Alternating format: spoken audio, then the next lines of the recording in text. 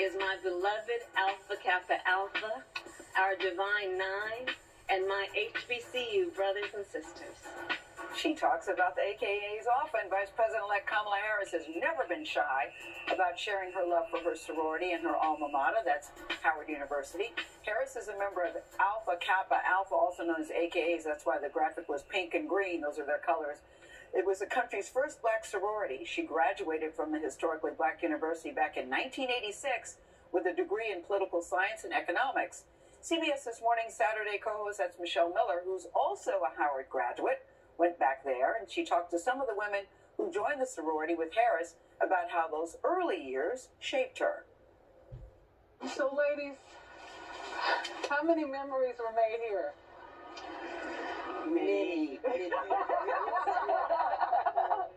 Dr. Elaine Witter, Monique Poitras, and Carla Mannings joined the oldest black sorority, Alpha Kappa Alpha Incorporated, founded right here at Howard University on January 15, 1908.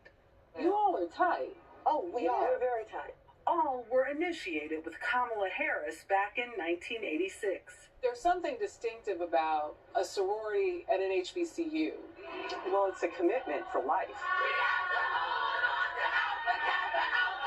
To strive for unity, friendship, high scholastics, and, and ethical standards that nurture college women. Alpha Kappa Alpha Sorority Incorporated, like all black fraternities and sororities, were formed to bring social change at a time when African Americans were denied essential rights and privileges. I'm home when I see you guys. The vice president elect reunited with her initiation class via Zoom on Founders Day, AKA's 113th anniversary.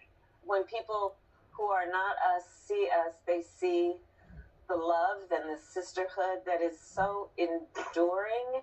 But members of AKA had been on the campaign trail all along.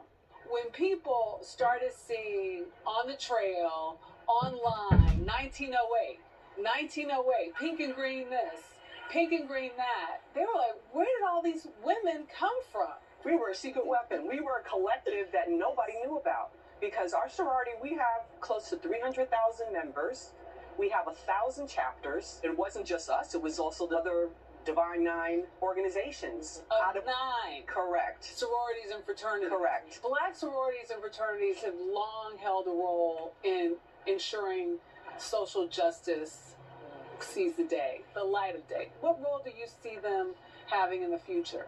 the same social and economic justice because they're very much intertwined with each other and so it's about um, educating ourselves educating others and making sure that everyone has a chance to be a part of the economic mainstream of this country Did she ever say, I want to be president of the United States one day? No. no She just had characteristics that uh, of a leader. Kamala tended to kind of stand out. She was the person who would come into the room and say what needs to be done, and they would get down to it.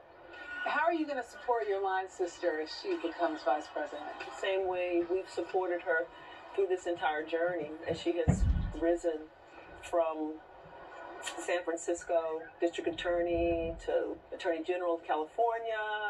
She's an authentic person and she works hard and she's an inspiration. I think that young women today looking at Kamala Harris have to have an immense sense of overwhelming pride. I think it gives them a sense that there's nothing that they can't do.